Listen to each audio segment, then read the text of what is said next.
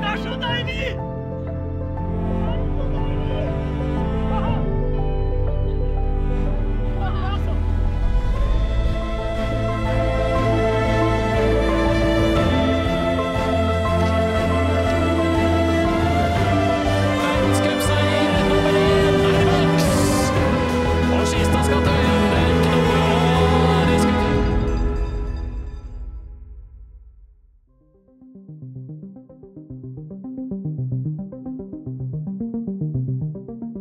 Konnerud er noe helt spesielt for meg.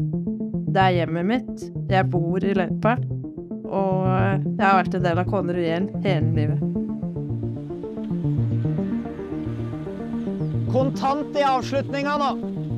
Gikk veldig avslappa opp. Ja. Det er deilig, det, da.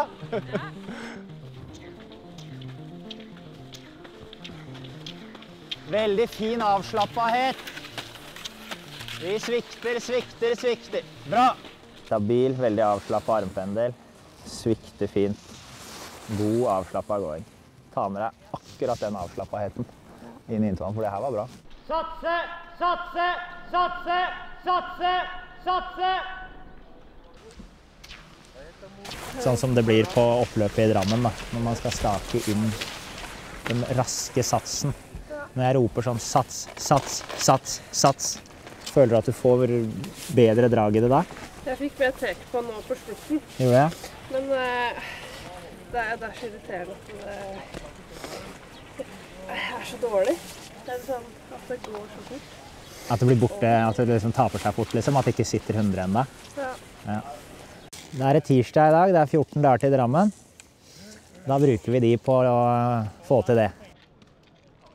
Grunnen til at 2018 gikk eh, ganske bra, var eh, nok fordi man hadde gjort eh, mye rett over lang tid. Jeg hadde trent godt på NTG Lillehammer i tre år, og jeg var jo en sulten eh, ung utøver, da, så det eneste jeg ville, var jo å slå de som var eldre. Dette er strålende! Kristine Stavås Kistad tar teten. Viste jo ekstreme hurtighetsegenskaper forrige sesong. Gikk bra i junior-VM, dette var et nytt nivå. Juniorstjernen Kristine Stavold Skistad, som er raskere enn de aller fleste har en utholdenhet til å stå en hel finale her, så kan det helt store skje. Skistad er aller raskest på de første 50 meterne og tar teten. Får vi se om hun lykkes med samme taktikk igjen. Norges beste junior mot Norges beste senior. Sånn utgangspunktet tar første- og andreplassen ut her. Og det er junior som er først. Kommer Stavold Skistad! Det blir junioren som blir nummer to. Det blir ingen skiskyttere på pallen. Det var nesten for Tiril Eckhoff. Maiken viser til slutt hvem som er best, men eh, denne jenta har vi bare sett eh, starten av.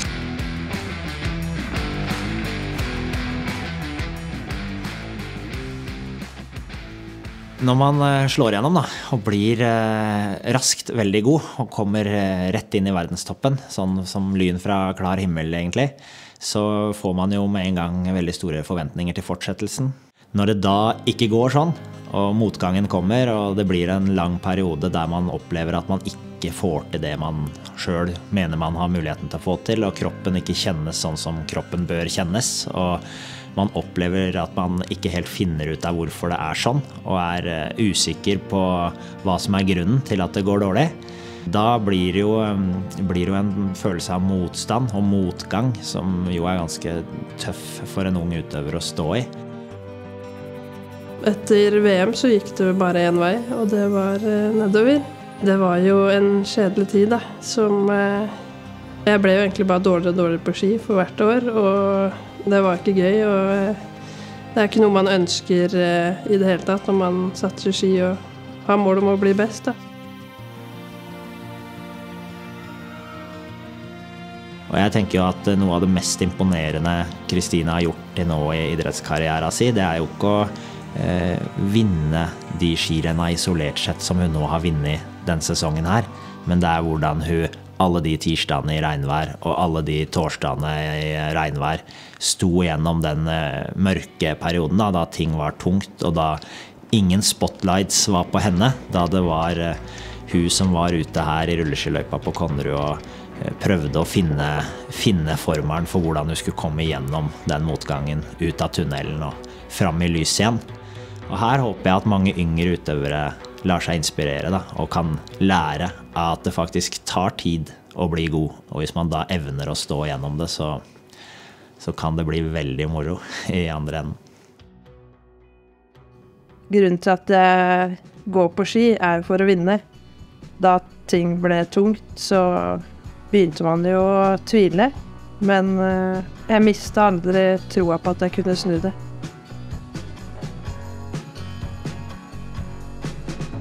Bruk oppvarminga til noe mer enn fjas. God tur. Pass at du får gått på nok med kneet ditt, og kommer deg djupt der. At det går sånn her. Der. Der. Jobbe med det nå. Nøye.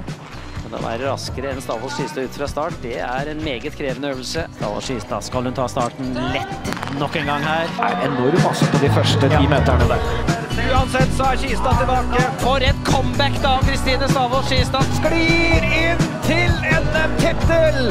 Kristine Stavås Kistad foran Undnes vekk. Nå er det Skistad mot Sverige i eh, Bleros. Og Skistad skal til VM. Det er ikke noe å diskutere. På sprinten i VM så eh, følte jeg meg bra, det gjorde jeg. Jeg fikk, eh, fikk nok syra litt eh, fortere enn jeg gjør i, i mitt beste slag. Å bli slått av tre-fire tre, svensker, det er jo motivasjon i seg selv. Så ja, jeg var ganske revansjelysten da, husker jeg. Så da var det eneste som gjaldt å bare vinne, vinne i i hvert fall. Det, det følte jeg nesten var eh, noe jeg måtte gjøre, bare.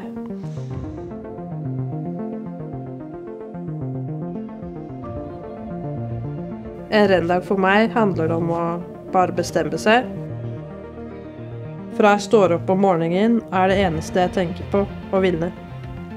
Da handler egentlig alt om hvordan få til det. For oss så er eh, ro, da. Det er helt avgjørende. Og i mitt hode, da, når du er idrettsutøver eller trener, så fins det ikke noe mer rotete, det fins ikke noe mer kaos enn å være midt i gryta på et svært idrettsarrangement med spikere, tilskuere, masse som skjer rundt deg. Da handler det om liksom hvor kan man finne ro, da. Og når man kommer inn i Bragernes kirke, og du har den der eh, følelsen av ro helt stille inn i et så stort eh, kirkebygg, da, og så kan man da liksom eh, stenge alt som skjer på utsida ute, og bare hente kraft i seg sjøl og kraft i den roa du finner der inne. Det var, det var noe magisk over det. Nå sitter man her inne, og der ute så er det tusenvis av mennesker, og det er et World Cup-sirkus og TV-kameraer, og snart så skal man gå ut der og vinne. Kristine Stavås Skistad på hjemmebane, får vi si. Nummer fem i VM-sprinten i Planica. Konnerud i panna, så blir du populær her Bra, i Kristine. Drammen. Første hinder er jo å gå videre fra prologen. Kom igjen, Kristine! Skistad i mål i dette øyeblikket er ledelsen med seks sekunder. Bra. Kanonprolog. Veldig, veldig bra. Nei, det er morsomt. Det er et fantastisk dag. Jeg tror det kan bli en morsom arrangement utover dagen her, altså. Her er det bare å klaske på eh, bryteren i dag, altså. Men du fikk til det vi snakka om. altså. Hvis du står og så ser sånn litt Så ser det litt for meg til slutt. Der, Hva ble resultatet? Vi vant jo med flere sekunder. Jeg får ikke finne barnebilder av det. Dette må vi ta etterpå. Eller bare Damene er viktigst. Full kontroll. Det var smokking, det, var det ikke det? Bam! Tre og et halvt sekund rett i kalven, liksom. Den sitter.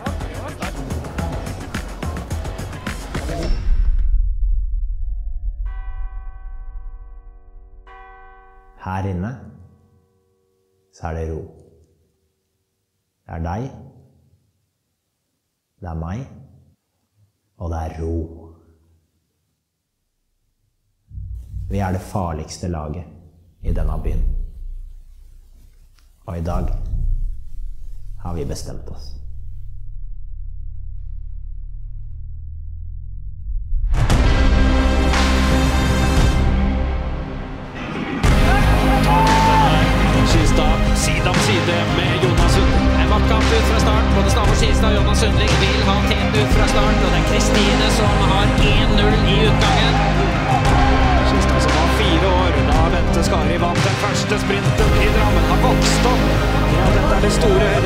I området. Nå kan det begynne.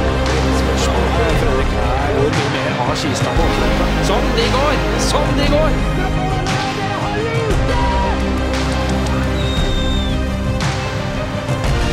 Hjemme hjemmehoppe mot den store mesterskapsløperen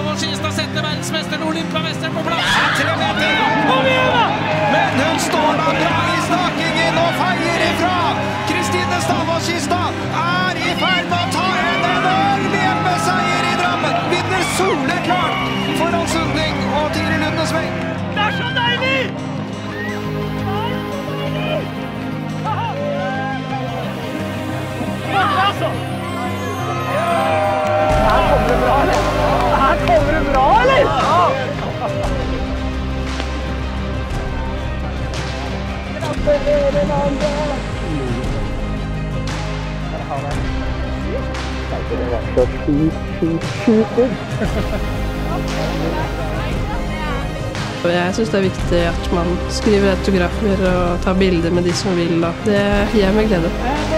Fra Norway, fra kongeruinen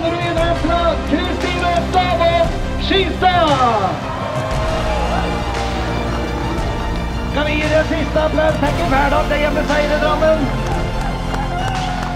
Dagen i Drammen var, eh, det var en stor opplevelse. Det var eh, utrolig morsomt. Det, det å ha drammensere rundt hele løypa, det er jo nok i seg selv. Og den dagen der ble veldig fin. Det er morsomt å se så mye folk som er glad i langrenn. Altså.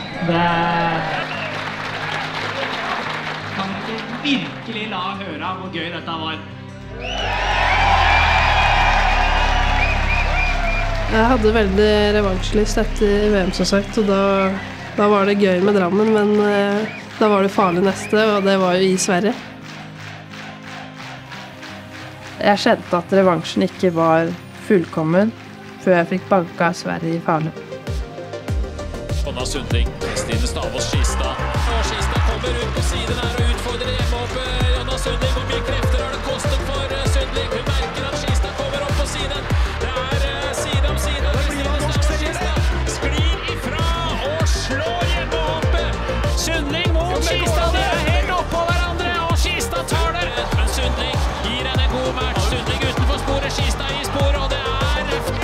Det er jo gøy å se at det er såpass mange som lykkes ganske samtidig. Så det her kan gå. Maria er god i hit. Miljøet på Konnerud er jo kjempebra. Det er eh, mange som vil det, føler jeg, på Konnerud.